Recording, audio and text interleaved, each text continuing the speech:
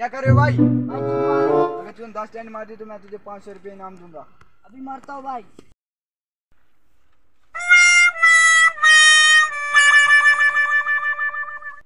भाई, मेरे पाँच सौ रुपये दो। कौन से पैसे? भाई, मारा बताऊँ मैं तुझे? No no no no